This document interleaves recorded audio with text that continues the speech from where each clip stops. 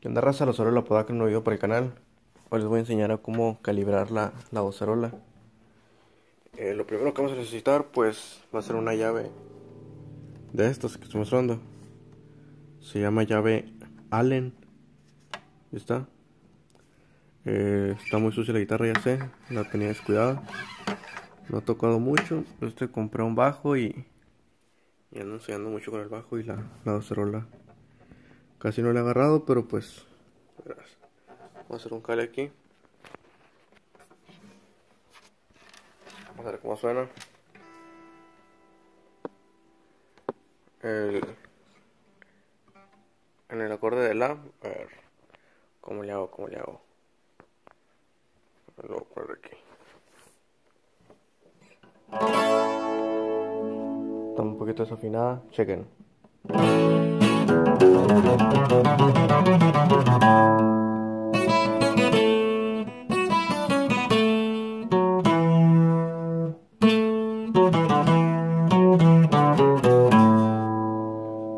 Pueden ver está trasteando mucho.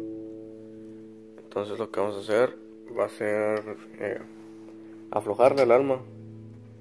Lo que vamos a hacer va a ser meter la llave.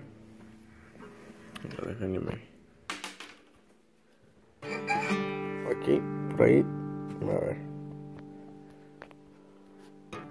Ahí tiene, como pueden ver, tiene un huequito aquí. Ahí vamos a introducir la llave. Ahí está. Entonces,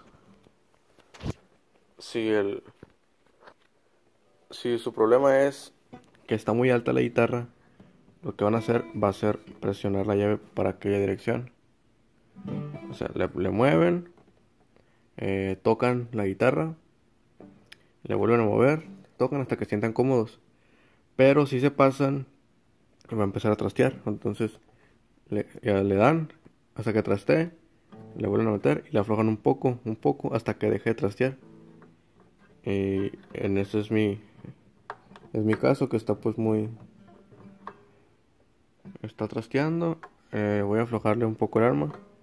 Aflojar quiere decir que voy a levantarlo. Entonces, hacer para acá. Si quiero aflojar es para acá. Si quiero que se ponga más, que se peguen más las cuerdas al diapasón es para allá. Si está muy levantada su guitarra para allá, si le quieren bajar para acá, ¿ok? Entonces la vamos a mover aquí. Dejen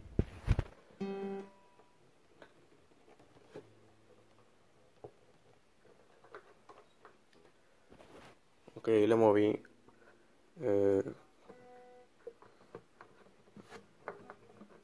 sacamos la llave. Ahora calamos calamos a ver si sigue trasteando.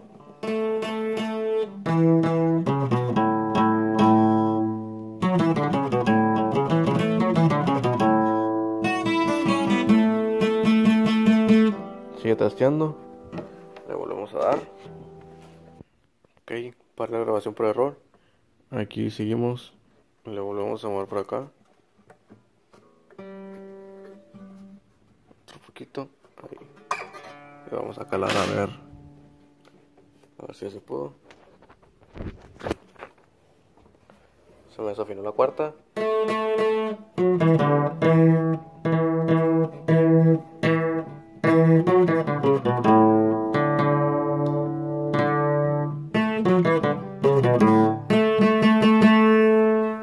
Ahí ya como que está dejando de trastear. La volvemos a meter.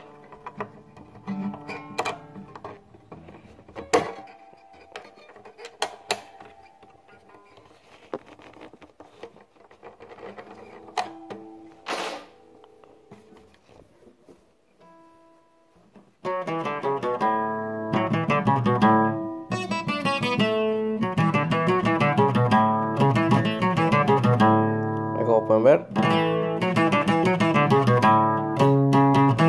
Aquí es la que trastea ahorita.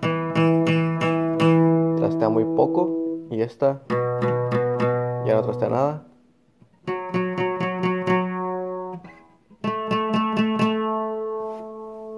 Pues como pueden ver, aquí pues le levanté un poco. Pero pues ya, ya no está trasteando. Y pues ese es el tutorial de cómo calibrar la docerola. Eh, espero y le hayan entendido y no y no hecho los hecho y no haberlos hechos ah, no haberlos hechos bola. Acuérdense, si, si esto está muy alto, meten la llave y la hacen para allá. Y si está muy bajo y está trasteando, meten la llave y hacen para acá, como yo le hice. Y pues, nada más. Muchos le quitan las cuerdas, todas las cuerdas y le empiezan a, mover. Eh, pues, ahí me dicen, no, que la vas a chingar porque tiene las cuerdas puestas y le estás moviendo. Pero pues ya llevo, que, tres años haciéndolo así, pues no ha habido problemas. Eh, si ustedes quieren, porque por ejemplo ahorita si se fijan, le metí, le moví, la saqué le calé y todavía no, le volví a meter, le moví y así como cuatro veces. Entonces, imaginan para quitarle todas las cuerdas, moverle, luego ponérselas todas otra vez, las 12 cuerdas, y calarle y que no quede, otra vez quitárselas, volverle a meter, moverle, volverle a poner todas las cuerdas y pues una batalla. Y pues sí quedó tutorial más o menos de cómo se calibra una docerola Oscar Smith.